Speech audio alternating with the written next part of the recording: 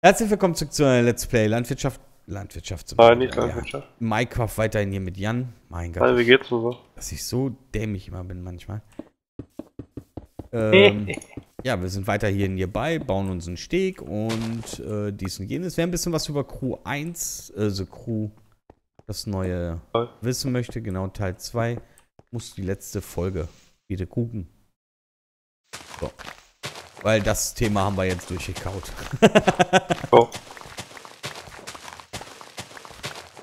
Ja, Jan, was sagst du denn zu dem Minecraft, äh, Minecraft sage ich, äh, zu der Xbox One-Thema, was denn der Entwickler da.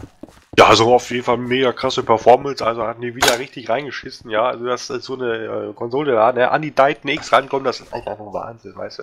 Also das ist ja heilige Scheiße, Alter. Das ist ja sofort, sofort mein PC schon auf Ebay gesetzt, weißt du, für 3 Euro, weißt du, war mir scheißegal. Sofort instant die Xbox hier bestellt schon. Ja, was so mein Statement dazu? Ja. Bisschen Ja. lächerlich, oder? Ja. naja, bestes Beispiel PUBG. Egal, ob das jetzt irgendwie extrem kacke programmiert ist. Aber, also umgesetzt wurde, okay, Ja. sah sich schon ziemlich hart scheiße aus. Auf der Konsole. Ziemlich hart scheiße. Ich finde, das Ja. sieht aus wie auf äh, PlayStation 1 oder äh, so. Ja. Ja, so in Art. Ja, also Leute, ganz ehrlich, genau das gleiche Thema hatte ich vor Jahren, wo ich mich über die PlayStation so geäußert habe, weil ich mag dieses Gerede nicht, wenn man seine Konsole schneller schiebt wie ein PC zu der heutigen Zeit. Ähm, ja. Und ihr müsst mich auch nicht belehren oder geschweige irgendwas anderes, aber guckt euch einfach meine Titan an, wie groß die ist. Und dann guckt euch meine Konsole an. Und dann lasst euch nicht Dann erklärt mal, wie das Teil da reinkommt. Richtig. Lasst euch einfach nicht verarschen. Mehr können wir da einfach nicht zu sagen. Klar ist es äh, Promo und, und was weiß ich nicht alles. Aber Leute, dass sie schnell ist, das wissen wir. Und dass sie gut ist, das wissen wir doch auch. Ja, Das, das, aber das will ja gar keiner äh, widerlegen. Und dass sie zwischen einer 1060er und einer 1080er liegt.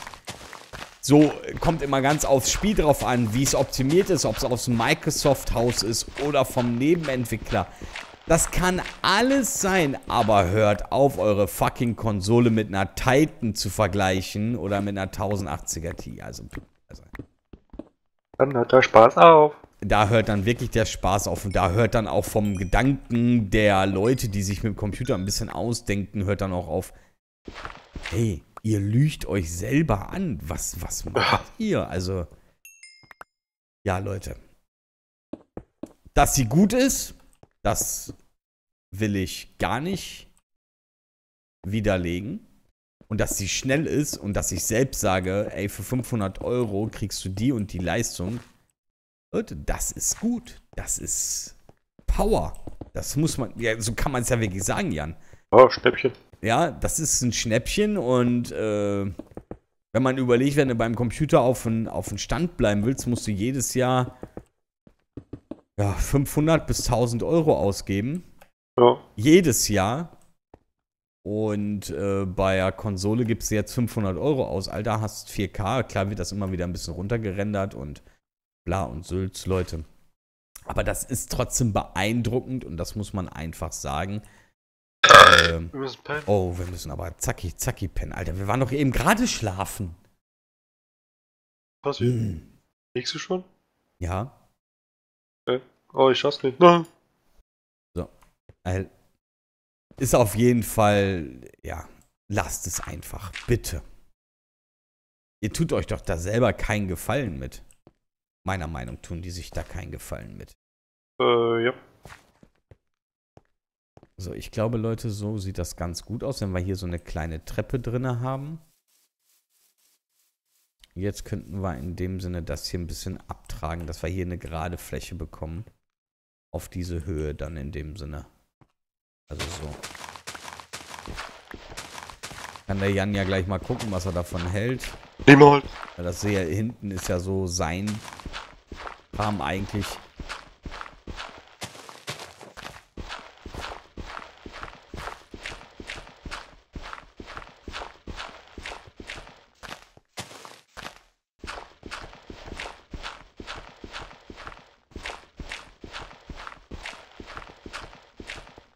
hier müsste dann später eine Treppe hin.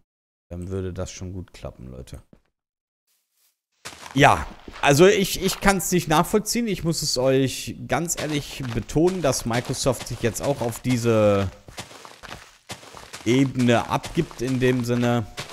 Und gerade dann auch noch mit solchen Grafikkarten, weißt du, die, die wirklich alles rasieren zurzeit auf dem Markt. Ja. Äh, ja. Klar, Promo, Promo, es sollen so viele Leute wie möglich äh, Weihnachten eine Xbox One X bekommen. Komm, komm, komm, komm. Ist ja vom Prinzip logisch und kann ich auch nachvollziehen, aber Ah, wenn er gesagt hätte, hey, wir liegen bei einer 1070er oder so, dann hätte ich noch gesagt, ey, ja, er hat ein bisschen übertrieben, aber ist schon okay, weißt du so. Kann man machen.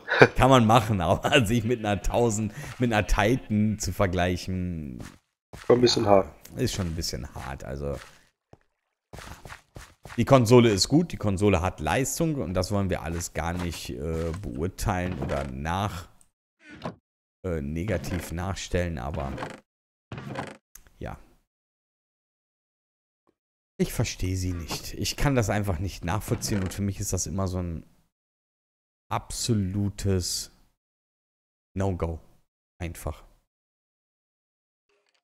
Kann jeder halten, was er will von, aber ja.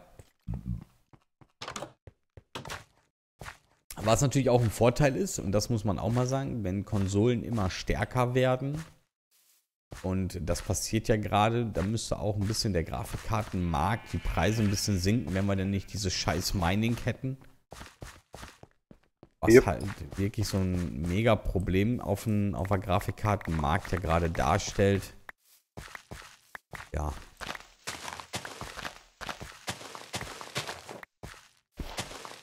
Aber da sind wir einfach mal gespannt, was die nächste Zeit mit sich bringt. Wenn für mich jemand fragt, hey, was würdest du mir zu Weihnachten empfehlen? Ich will Geld ausgeben. Leute, eigentlich darf man zurzeit gar nichts kaufen an Grafikkarten. Das muss man jetzt auch mal klipp und klar sagen, weil der Markt, also die Grafikkarten sind teurer, wie der Hersteller sie anpriest. Also, was weiß ich, ich sag jetzt, ich schmeiß jetzt einfach eine Zahl in den Raum wir sagen jetzt einfach mal, 400 Euro soll die Grafikkarte XY kosten. Diese Grafikkarte kostet dann aber im Einzelhandel 560. Ja. So, und aus dem Grund ist es ja eigentlich nicht wert, eine Grafikkarte zu kaufen. So. Ja. Das ist halt zurzeit so ein Hauptproblem. Aber ich glaube, wenn man einigermaßen günstig fahren will, dann sollte man sich Minimum eine 1060er kaufen. Mit 6 GB VRAM. Nicht 3 GB VRAM, Leute. Niemals 3 GB VRAM. Niemals. Wenn man auf ein etwas höheres Niveau spielen möchte, dann kann man sich eine 10, 1070 kaufen oder 1070 Ti. Da streiten sich die Hühner drüber. Oder eine Vega 56 heißt sie, ne? Ja, genau, Vega 56. Ja. Äh, ja. Das ist diese obere Niveauklasse. Wenn man dann das aussortieren möchte mit Preis, Leistung und Nebenkosten, darf man sich keine Vega-Grafikkarte kaufen. Weil die Vega-Grafikkarten einfach zu viel Strom nehmen, Leute. Und mehr braucht man eigentlich dazu nichts sagen. Wenn dann einer sagt, ich rede Scheiße oder so, dann guckt euch mal euren Stromverbrauch an. Ich kann fast zwei 1070 reinmachen für denselben Stromverbrauch wie eine Vega. Also, ich glaube, Strom ist ja heute eh ein großes Thema bei den Leuten, die einen PC besitzen, was ich nicht nachvollziehen kann, wenn ich ganz ehrlich bin. Für mich ist der Stromverbrauch ein relatives Nebenaspekt, der für mich keine Rolle spielt, weil Punkt 1, dann darf ich nicht zocken. Ganz einfach, Leute, weil äh, dann muss ich auf eine Konsole geben. Will ich weniger Nebenkosten etc. bla bla haben, muss ich eine Konsole nehmen, weil äh, ja, also ich liege schon bei über 100 Watt im Idle, also ich weiß nicht, was die Leute immer denken. Leistung gibt's kostenlos, Jan. Ja, klar. Oh, wir haben Wasser hier im Dock schon. Hier unten. Soll ich das lieber zumachen hier unten? Ja, brauchst du nicht. Ich mach mal zu.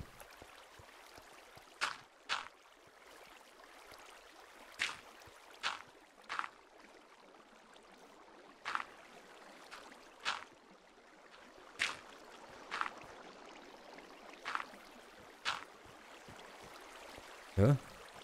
Warum kommt das immer noch? Hallo, ich habe dich geschlossen. Ah. Hallo? Hm. Ich glaube, es sieht aus wie eine unendlich Quelle. Pause zu. Ja, ich bin gerade dabei.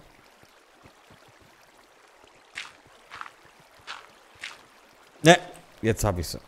Äh, und Werner, komm. Ja. Und ah, ja, ein Krampfarbeit. So. Haben wir. Ja, also wenn ihr irgendwas kaufen möchtet zurzeit, also wenn man preis-leistungstechnisch, glaube ich, da rangeht, dann muss man ganz ehrlich sagen, muss man sich wirklich eine also preis-leistungstechnisch. Wenn man das Mining in dem Sinne zurzeit dieses Problem darstellt, dann dürfte man sich von einem Preis her zurzeit höchstens eine 1060 kaufen. Möchte man aber auf WQ HD spielen, wie zum Beispiel auch meine Videos sind, wo ich 2K hinschreibe, wo ich schon für geflamed werde, dass es kein 2K ist. Oh, hallo Enderman. Bist du wieder da? Ich hab dich angeguckt. Hier bin ich. Du musst den Jan in Ruhe lassen. Ich guck dich an, Enderman. Bam, Junge. Wo bist du? Wo bist du? Da. Bam, Junge. Ah, du bist so laut, du Vieh. Ah, du bist so laut.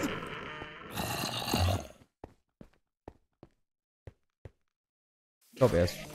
Ja, er ist gestorben. Hab's gehört. Ich glaube, im Schiff. Ne, da ist er wieder. Da kommt er. Hab ich dich nicht getroffen, Katze? Hier bin ich. Alter! Zack, Junge, hab ich dich getroffen.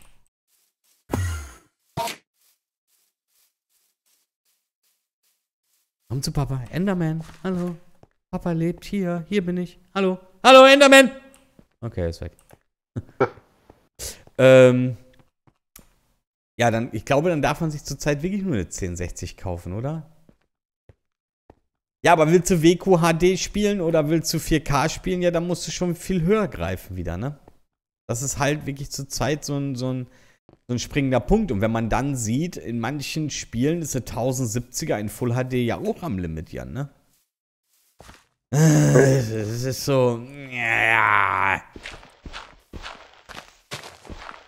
Aber dazu haben wir uns ja schon ein paar Mal geäußert, dass das nicht an den Grafikkartenherstellern liegt, sondern in unseren Augen an den Spieleentwicklern, weil es gibt jetzt 8 GB VRAM standardmäßig, ja, die nutzen wir dann auch. Bumm, fertig.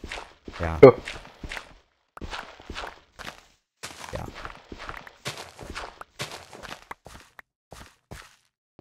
Ja. Es ist dann auch immer so ein, so ein springender Punkt. Das sieht doch schon mal viel besser aus, Leute. Wenn wir das wirklich hier so ein bisschen ausholen hier und hier ein bisschen Wiese ist, dann können wir hier wieder unseren Weg lang ziehen und die Laternen setzen und dann kann man hier wieder noch ein paar Sachen bauen, weil wir sind ja noch lange nicht fertig. Wir müssen auf jeden Fall diesmal ein bisschen früher schlafen gehen. Ähm, Ein wenig. ja, und CPUs, Leute, da, halt, da halte ich mich sowieso ganz bei raus.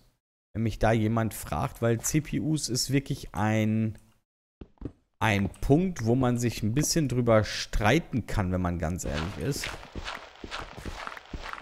Aber wenn es um reine Gaming-Performance geht, muss man ganz ehrlich sagen, würde ich immer Intel kaufen.